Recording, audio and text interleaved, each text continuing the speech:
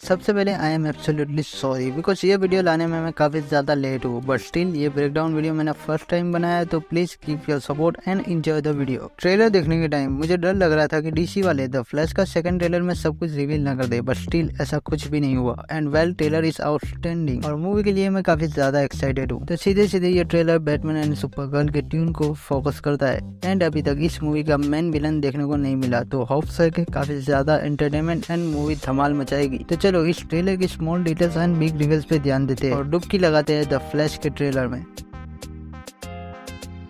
Trailer की starting में हमें पहला शॉट वैन मैनर का देखने को मिलता है, जहाँ माइकल किटोन का बैटमैन बैरी को कुछ मेजर बात समझा रहा होता है, जहाँ वो बताता है, मैंने अपना पार्ट सुधारने के लिए बैटमैन बना। वेल well, मैं तुम्हें बता दूँ जो ट्रेलर में हमें बैटमैन का हाउस दिखाया गया है वो टीम बर्टन की बैटमैन मूवी से अलग है। टीम बर्टन वही है जिन्होंने 1989 में बैटमैन मूवी को डायरेक्ट किया था। वही नेक्स्ट शॉट में हमें ब्रूस वैन की फैमिली पिक्चर देखने को मिलती है और उसके बाद बैटमैन का गेमिंग सेटअप देखने को मिलता है जो कुछ चीज़ों को छोड़कर सब कुछ अपग्रेड कर दिया गया है। वही इस वाले सीन में हमें यहाँ पे बैटमैन का सूट देखने को मिलता है वही बैटविंग एंड बैट मोबाइल को भी देखने को मिलता है। और इस वाले सीन में ये जो चेयर है वो बैटमैन मूवी की है जिसे चेंज नहीं किया गया। वेल उसी नेक्स्ट वाले सीन में हमें बैटविंग देखने को मिलती है। और उसके बाद हमें बैटमैन का सूट देखने को मिलते हैं। जो बैटमैन ने अपने तरक्की के टाइम अपग्रेड किए होंगे। उसके बाद नेक्स्ट शॉट में हमें वही हैरी एलन की स्टोरी बताई जाती है कि उसने कैसे टाइम ट्रेवल किया एंड पास्ट को बदल दिया। नेक्स्ट शॉट हमें क्रिप्टोनियन टेराफॉर्मिंग डिवाइस देखने को मिलता है, जो अर्थ पे अपना काम स्टार्ट कर चुका है। एंड नेक्स्ट शॉट में हमें एक बच्चा दिखाया जाता है, जो इतना ज़्यादा इंपॉर्टेंट तो नहीं है बट स्टिल बच्चे के पीछे कोई तो खड़ा है, जो काफ़ी ज़्यादा इंपॉर्टेंट है। ट्रेलर में सब कुछ ब्लर है, इसलिए कुछ भी नोटिस नहीं किया जा रहा, मगर मूवी में हमें पता चले ही जाएगा। And I think let me guess मेरे हिसाब से वो शायद बैरी एलन ही होगा उसके बाद हमें जनरल जॉर्ज का फ़र्स्ट लुक देखने को मिलता है। वही हमें इस वाले सीन में जो बिल्डिंग दिखाई गई है वो मार्था वेन की है। तो फ्लैश पॉइंट स्टोरी में जॉकर बन जाती है। उसके बाद हमें नेक्स्ट शॉट मिलता है सुपर गर्ल का जो बैरी एलन से ये पूछती है। निशान का मतलब क्या है पता है?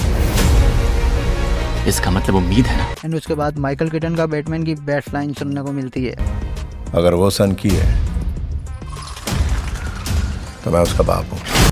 एंड उसके बाद हमें एक ही फ्रेम में super girl and Barry Allen के दो फ्लैश देखने को मिलते हैं, जहाँ हमारा फ्लैश अपने फ्लैश सूट में होता है। वही रिसेट यूनिवर्स का फ्लैश बैटमैन को सूट को रेड कलर करके फ्लैश सूट बनाया है। वही इसी वाले शॉट में हमें वॉर देखने को मिलती है। एंड उसके बाद बेन एफ्लेक की एंट्री एंड उसके बाद मल्टीपल वॉर के सूट दिखाए गए एंड उसके बाद बैरी को पावर सप्लाइंग मोमेंट देखने को मिलता है, जहाँ बैरी फ्लैश की पावर से पूरी तरह से जल चुका है। एंड इसी से बैरी को फ्लैश की पावर मिलती है, जो सेम इंसिडेंट कॉमिक से अडेप्ट किया गया है। एंड उसके नेक्स्ट वाले शॉट में हमें बैटमैन नज़र आता है एंड उसके अराउंड वॉर स्टार्ट हो चुकी है। जहाँ तुम एक साइड जॉर्ज की आर्मी को देख सकते हो, वही दूसरी साइड गवर्नमेंट आर्मी को देख सकते हो। वेल ट्रेलर काफ़ी ज़्यादा मज़ेदार था और मैं उम्मीद करता हूँ कि आपको भी ये ट्रेलर पसंद आया होगा। वैसे जापानीज ट्रेलर में सम डिटेल्स ज़्यादा है बट वो सब एक्सप्लेन करने बैठूँगा तो आई थिंक ये मूवी पूरी स्पॉइलर हो जाएगी। तो उसे रहने ही देते हैं। पहले आपको ब्रेकडाउन कैसा लगा मुझे कमेंट में बताना। अगर ब्रेकडाउन पसंद आया हो तो लाइक करें और ऐसे ही वीडियोस के लिए चैनल को सब्सक्राइब करें। मिलते हैं नेक्स्ट वीडियो में। Bye bye